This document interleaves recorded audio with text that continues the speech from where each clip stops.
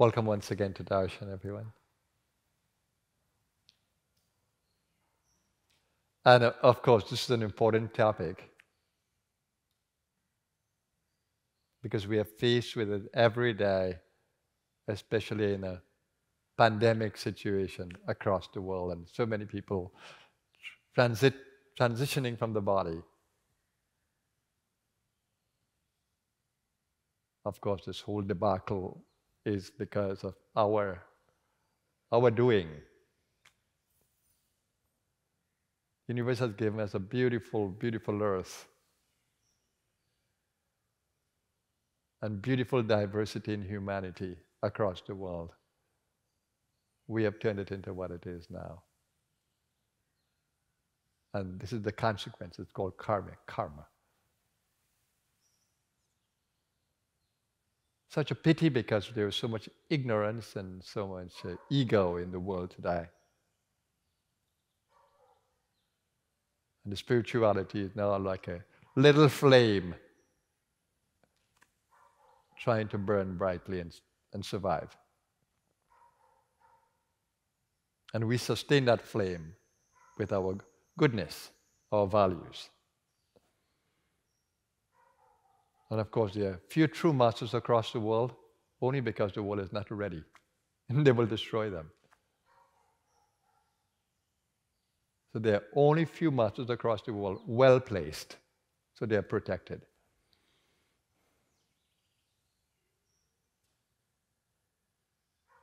But it's important for us to stay with those masters, learn from them, become like them, that we may grow the spirituality, the fire of spirituality across the world. so don't complain. The world is as it will be a karmic burning pot. And there is no death. People come, they purify themselves to certain levels, and they, they go. Do you, do, you, do you expect that everybody should live forever? That bodies should stay forever? Physical bodies? No, that's not the plan. You're given that as a soul in a lifetime with an opportunity to grow. Some of us use it well, some of us don't. And of course, life is not punitive, it doesn't seek to punish you, it seeks to help you grow you punish yourself with your ego.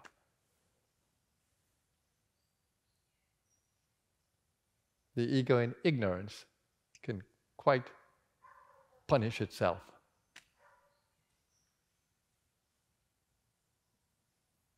The ego in sattva or in the light wants to, to grow that light.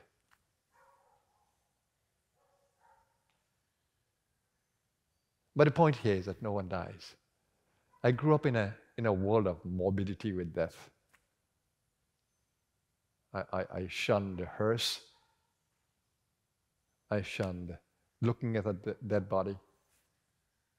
But that fear went away with more consciousness. I go to funerals now and I can tell the energy of the soul that has come out of the body. And it's exciting because then I can guide people into the inner space during a funeral, refocus them.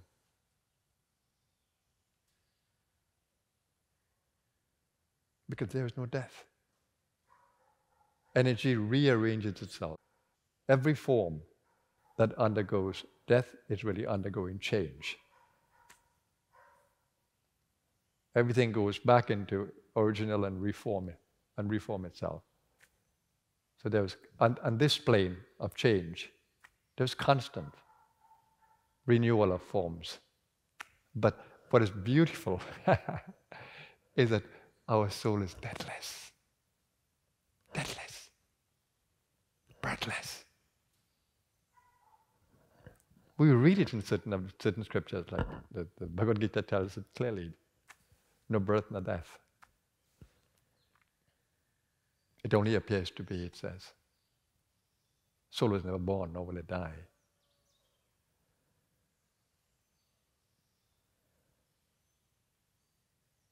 And when I could experience that, like I did with my father, that I didn't understand when I was 10, but I felt it. With my mother, I was more conscious. With my brother, more conscious. I could help them in the, in the space. It was absolutely beautiful. There's no death. One of my younger brothers, my mother passed away, and they burned the body at the pyre. He came home saying, Wow, I felt like I won a football match. Victory, victory, victory. And I couldn't agree with him more. Who dies? Who dies? It's just ignorance.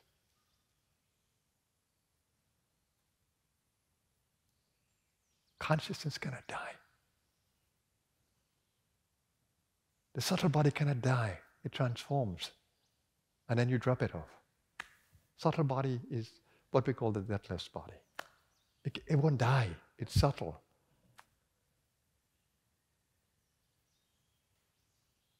But it's transformed and cleansed until it's no longer needed. It is the body of the ego, the subtle body.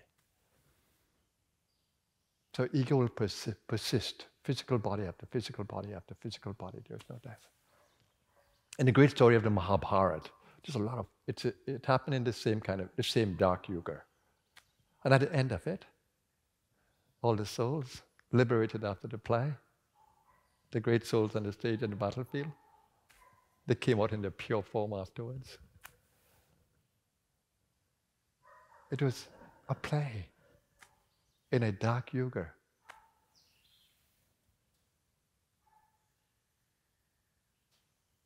Thank God for the enlightenment in the consciousness about death. Otherwise, there'd be such fear in my being.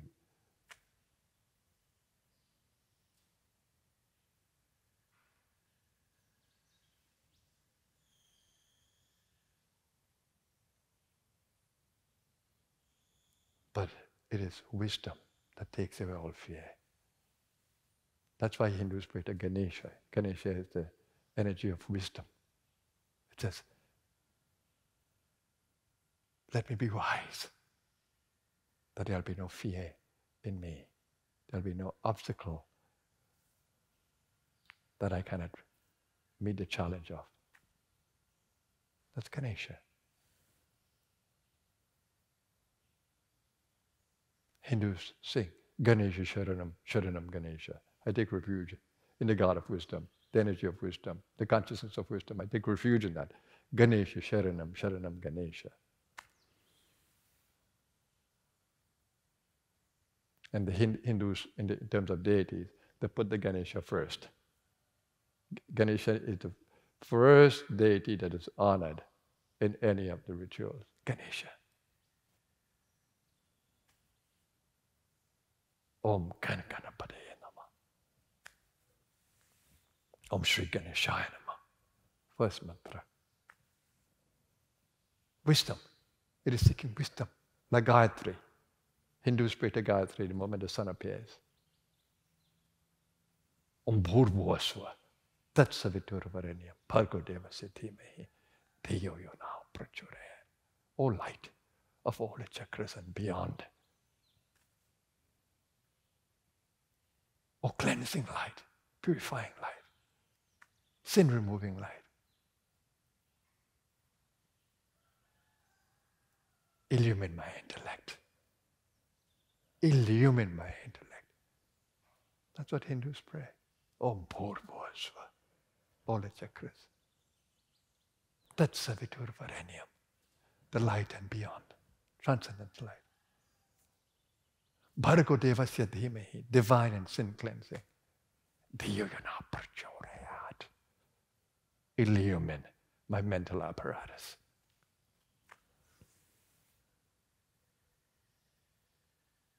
It's such a joy for me just to repeat this mantra, just to understand it. Om Mahamrityunjaya. I honor you, deathless one. Om Trayambakam Yajamahe omniscient.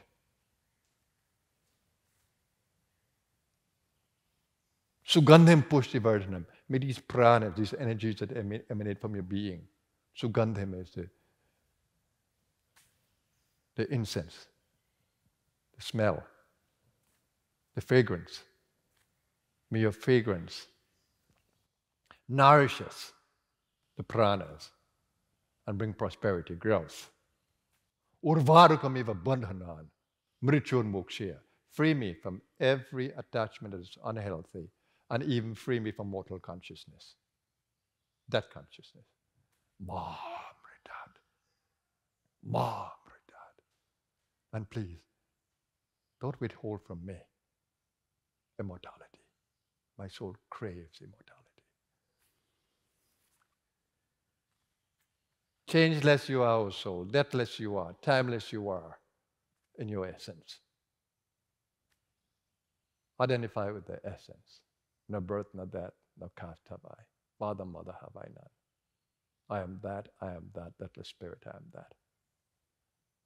That's Yogananda ji singing the song of Shankara, Adi Shankaracharya.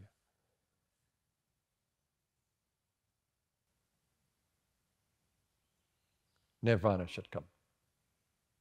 The six verses to liberation. Chidananda Rupa, Shivoham Shivoham. I'm deathless, birthless consciousness. That I am.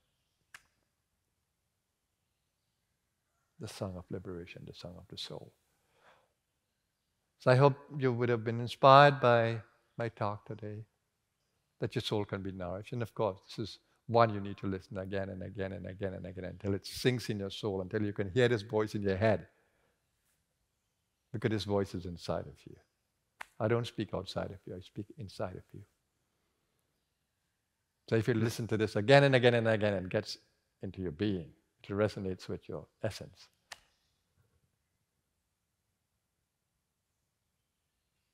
Have a blessed day, everyone.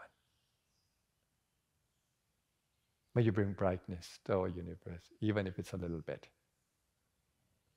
Namaskar.